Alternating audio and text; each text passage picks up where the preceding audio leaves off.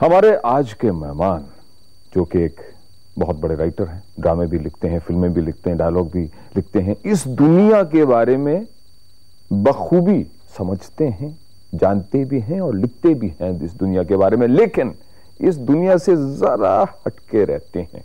शायद ये ज़रूरी है एक राइटर के लिए, एक फनकार के लिए।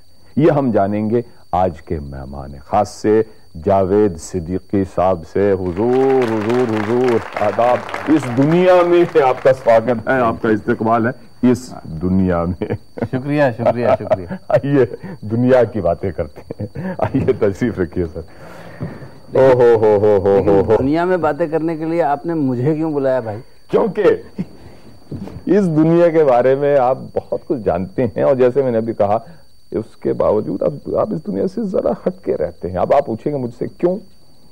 क्यों? इसलिए कि आपके ख्यालात जो आपकी राइटिंग के ज़रिए हमारे सामने आ जाते हैं आपके ख्याल हैं इस दुनिया के बारे में लेकिन उनमें एक रंग है जो इस दुनिया से जरा हटके है।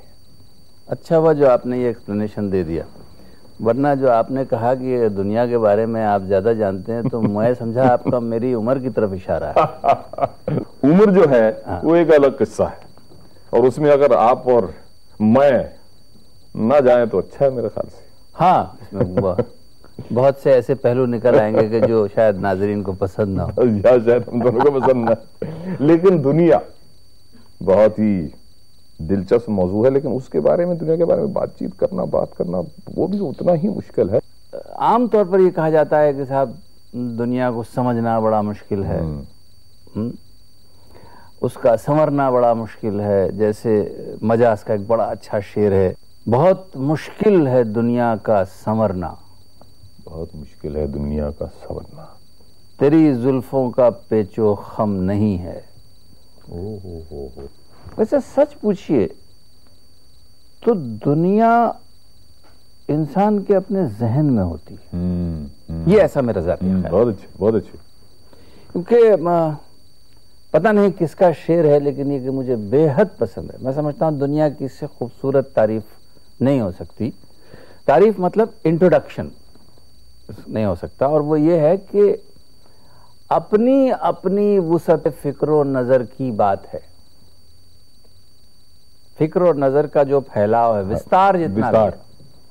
अपनी अपनी वसत फ़िक्र नज़र की बात, बात है, है। जिसने जो आलम बना डाला वो उसका हो गया हो हो हो हो हो हो हो तो you create your own world दुनिया को अगर आप समेटने की कोशिश करें तो वो एक घर भी होती है। फैलाने की अगर कोशिश करें तो सारी दुनिया कायनात पड़ी हुई हर आदमी अपनी इस छोटी सी दुनिया अपने साथ लेके घूमता रहता है। क्या बात है।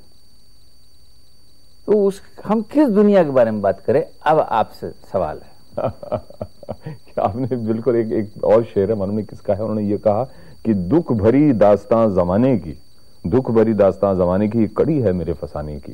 बिल्कुल। तो वही बात है कि हल- हम अपनी दुनिया में रहते हैं बाहर हो रहा है कहीं इलेक्शन हो रहा है कहीं क्रिकेट मैच में जीत रहे हैं कहीं हम हार रहे हैं वो एक अलग दुनिया है।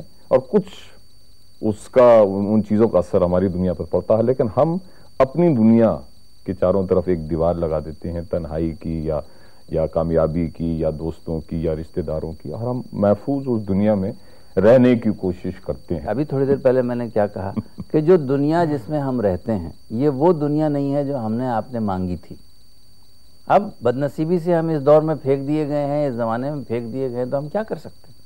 लेकिन उसको, उस दुनिया को बदलने की कोशिश, उस दुनिया को अच्छा बनाने की कोशिश, आप अपने तौर पर, मैं अपने तौर पर तो कर सकते हैं ना। मिसाल के तौर पर ये डिस्कशन जो है, अगर हम इसको एक कड़ी मान लें कि हम एक अच्छी दुनिया का तस्वुर लोगों के जहन में ये डाल डाल दें कि भाई एक अच्छी दुनिया भी बन सकती है जो आज की दुनिया से बेहतर हो। जैसा वो मेरे बहुत अज़ीज़ दोस्त का शेर है कि कहीं ज़मीन कहीं आसमां नहीं मिलता यहाँ किसी को मुकम्मल जहाँ नहीं मिलता। लेकिन इस दुनिया से इस दुख भरी दुनिया से भागने का एक ही तरीका है कि हम सब अपने छोटी छोटी दुनियाएँ बना लें। हम्म, हम्म, जैसा वो मैं जब अपने कमरे का दरवाज़ा बंद करता हूँ एक सादा सफ़ेद कागज़ अपने सामने रखता हूँ क्या बात। एक कलम उठाता हूँ तो मैं इस दुनिया का बाशिंदा नहीं रहता जिसमें दूध वाला है जिसे बिल चाहिए जिसमें ड्राइवर है जिसे तनख्वाह चाहिए Income tax वाले जिसमें इनकम टैक्स वाले हैं जिसमें बीवी सत्ताईस तारीख से कहना शुरू कर देती है कि आप पहली आ रही है। उसमें कुछ नहीं होता है। ये वो दुनिया होती है जो मैं अपने लिए क्रिएट करता हूँ। हम्म, ये वो दुनिया होती है जिसमें मैं छुप जाता हूँ। मेरा ख्याल ये है कि ज़िंदा रहने के लिए इस दुनिया के अंदर एक दुनिया बनाना बहुत ज़रूरी है। बहुत ज़रूरी है सर। बहुत ही वरना दम घुट जाए आदमी का। मीर का एक शेर मैं आपको सुनाऊं। आँख हो तो आईना खाना है दहर। आँखों तो आईना खाना है दहर। आँख हो तो आईना खाना है दहर। मुँह नज़र आते हैं दीवारों के बीच। हो हो हो हो हो हो हो हो तो ये उस जमाने में भी लोग क्या बात है? उस जमाने में भी लोग अपनी टूटी दीवारों में से चेहरे झांकते हुए देख, लेते बात तो दुनिया जो है ये अपना रास्ता निकाली लेती है पानी की तरह। क्या बात तो मैं ये कह रहा था कि देखिए जो दुनिया में देखना चाहता हूँ जिस दुनिया का एक ख्वाब है मेरे अंदर वो दुनिया मेरी ज़िंदगी में तो नहीं बनने वाली है मुझे मालूम। वो शायद आपकी ज़िंदगी में भी नहीं बनेगी। हो सकता है कि हमारे बाद जो दो चार जनरेशन और आएँगी नस्लें और आएँगी शायद उनकी ज़िंदगी में भी ना बन पाए। लेकिन कभी कभी कभी ना कभी ये दुनिया बनेगी ज़रूर। वो दुनिया जिस दुनिया को हम सोचते हैं वो दुनिया जिसे हम देखना चाहते हैं वो दुनिया जिसमें दुख नहीं होंगे हो जिसमें भूख नहीं होगी जिसमें परेशानी नहीं होगी। क्या बात है? जावेद साहब क्या बात है? थैंक यू ये यकीन आपका सच्चाई में बदल जाए बस हमारी यही दुआ है। और आपने बिल्कुल दुरुस्त फरमाया कि हम दोनों की हम दोनों की ज़िंदगी में शायद ये दुनिया ना आए। लेकिन अगर हम कोशिश करें अपने अपने तरीके से, अपने अपने लेवल पे हम कोशिश करें तो शायद आगे ये दुनिया जो है, ये ख्वाब जो है, ये हकीकत में बदल जाए। जावेद साहब, बहुत बहुत शुक्रिया। अलविदा के, अलविदा।